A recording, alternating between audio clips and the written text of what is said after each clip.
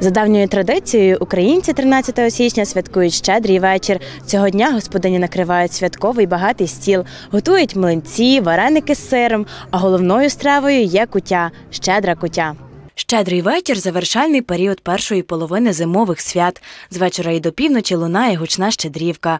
Головною стравою столу є кутя, заправлена смальцем або вершками. Звідси й назва вечора щедрий.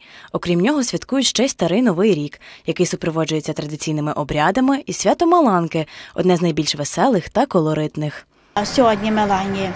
Меланка збирається ходить колядувати по хатах. І на Василія діти сіють пшеницю. Зранку хлопчики бігають у кожну хату. Маскарад у вечір перед Василем сьогодні став просто розвагою. Поряд із традиційними персонажами з'являються сучасні. Пані Марія впевнена, зимові свята спрямовані на те, аби зібрати родичів та друзів разом за великим святковим столом.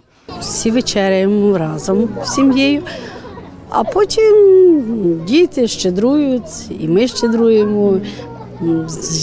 Потім йдемо до церкви, вечір служба. І прославляємо Бога, радуємося, тішимося. Гості збираються з найвіддаленіших куточків. Діти приїжджають до оселі батьків з веселою щедрівкою, а ті натомість частують їх стравами, смак яких знайомий з дитинства. Е, У нашій сім'ї традиційно готується борщ з вушками. От у нас от така оця от страва, така, от цей смак він е, завжди, завжди. Ми його згадуємо, завжди от приїжджаємо і чекаємо цих. Це гриб, грибний такий грибна юшка. Всі щедрівки наповнені радісним духом. Важливий не лише текст, а й настрій, з яким його виконуєш. Варто вірити у те, чого бажаєш. Найвідомішим є твір Миколи Леонтовича, в основу покладено українську щедрівку, пісню добрих побажань, що виконується в період зимових свят в усьому світі. А Так, коли була дитиною, там до років 12, мабуть, я е, щороку ходила щедрувати. Дуже любила цю справу і з подругами завжди.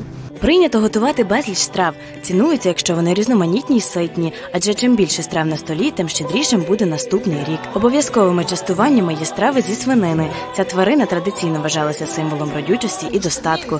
Та все ж, яка страва смакує тернополянам найбільше? Кутя. Кутя. Я дуже люблю бабусь, коли бабуся готує оцю. Кутю. Кутя. Кутя, звичайно.